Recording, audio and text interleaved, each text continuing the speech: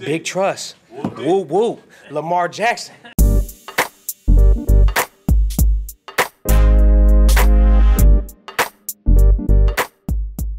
Lamar Jackson is without a doubt going to be named the 2019 NFL MVP. He was the first player in NFL history to pass for over 3,000 yards and rush for over 1,000 yards in the same season. On top of a league leading 36 touchdown passes, Jackson led the Ravens to an NFL best 14 2 record. Dating back to high school, Jackson's highest completion percentage and highest touchdown pass total came in the NFL this past year. Back in college, Jackson became Louisville's first ever Heisman winner in 2017. Just like 2019 Lamar Jackson, he tore up the field in numerous ways, accumulating 4,928 yards of total offense. With these successful seasons in both college and as a pro, Jackson will now join a very exclusive club of Heisman winners who went on to win NFL MVP. Let's take it back in reverse chronological order to every player on this coveted list.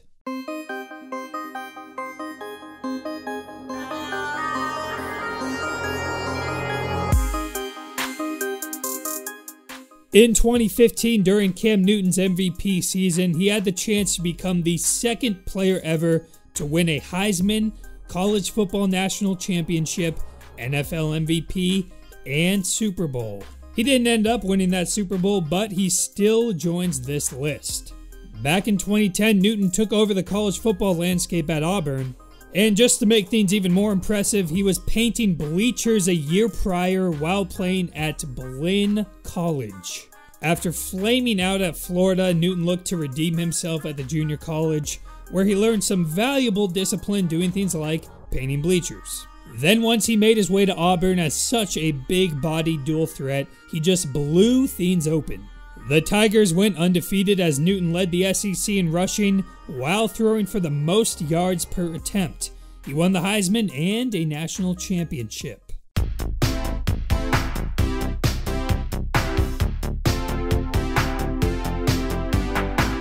We got to take it back to the 20th century for our next player. Barry Sanders was the last running back to accomplish this feat in 1988. But in the year prior, Sanders wasn't even the featured back in the Oklahoma State backfield.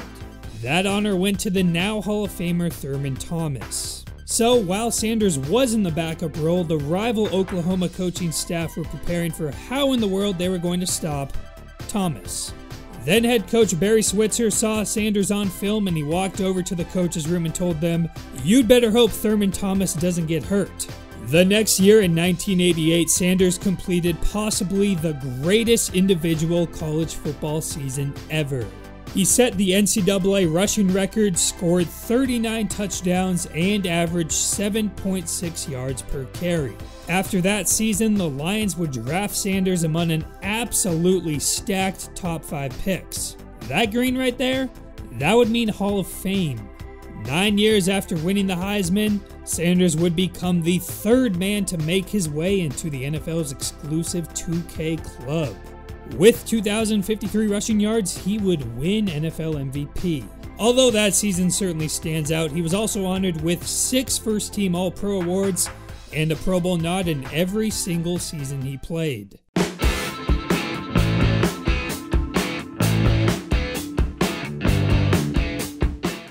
Marcus Allen became college football's first player to ever rush for over 2,000 yards in a regular season, but in high school he was actually a quarterback and safety. In 1978, USC quickly moved him to running back his freshman year. Although he played sparingly, the Trojans went on to win the national title. Three years later, Allen surpassed 200 yards in 8 out of 11 games. He won the Heisman and was then drafted by the Raiders.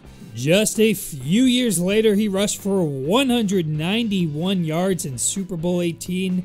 The Raiders blew out the Redskins and Allen won Super Bowl MVP. In 1985, Allen added to his long list of accolades with an NFL MVP award. He then became the only player in history to win a college football national championship, the Heisman, the Super Bowl, Super Bowl MVP, and NFL MVP.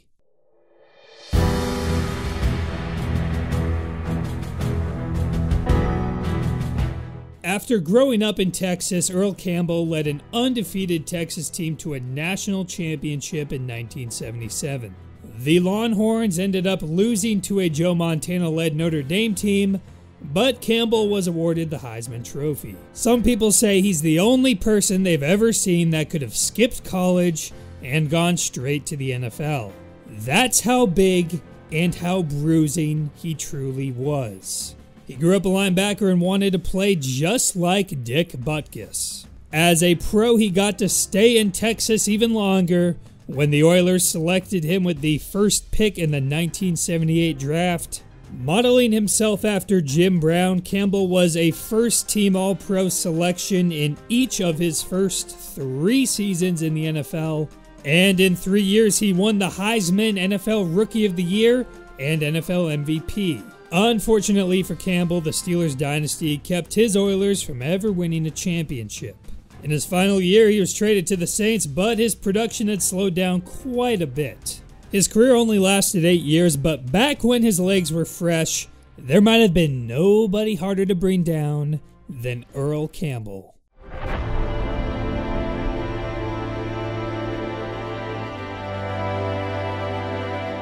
You know his story and how terrible of a human he is. But from a football perspective, OJ Simpson goes down in history in both the college and pro game. Just like Marcus Allen, OJ won a national championship and Heisman at USC. His Heisman voting margin of victory stood for over 50 years. In 1969, he was selected in the AFL NFL draft by the Bills, and he actually didn't eclipse 1,000 rushing yards until his fourth year in the league.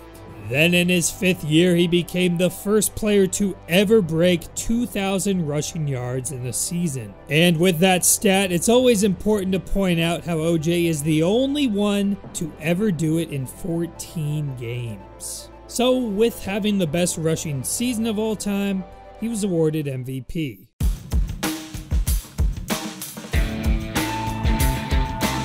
So the thing with Roger Staubach is he won the Bert Bell Player of the Year award in 1971. And I've seen him on a couple Heisman NFL MVP lists, but Alan Page was actually the AP NFL MVP that same year. And by then, the AP award had been given out for a decade, and I feel like it's most logical to go by the AP award and then look at the other awards before 1961 when the AP NFL MVP award wasn't even a thing yet.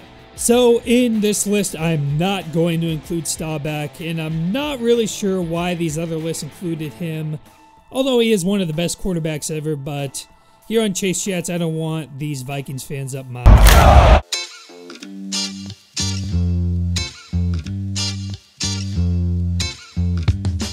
Now we're back in the pre Super Bowl era, and what better player to go to than Paul Hornung, who Vince Lombardi once called the most versatile man who ever played the game. As one of the greatest players in Notre Dame history, Hornung didn't always have the best talent around him.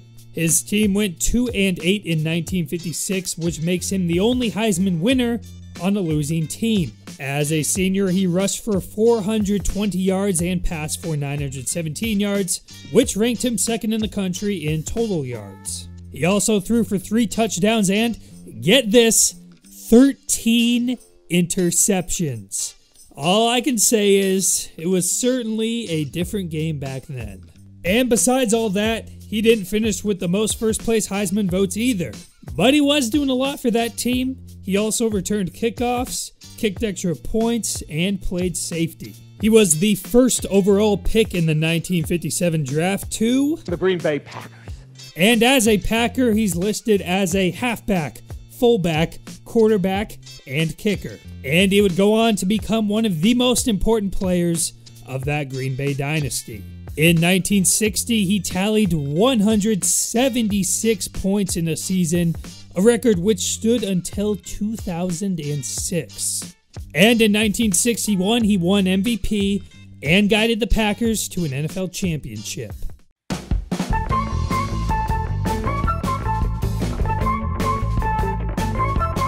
And finally, our last one in 1942, Frank Sinkwich became Georgia's first Heisman winner.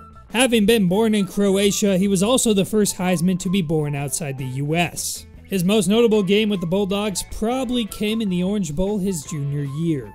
While playing with a broken jaw, he totaled 382 yards. The Lions picked him with the first pick in the 1943 draft. He only played pro football for four seasons, but it only took two for him to win NFL MVP. After his playing career, he served in the military, coached football, and owned a beer and wine distribution business.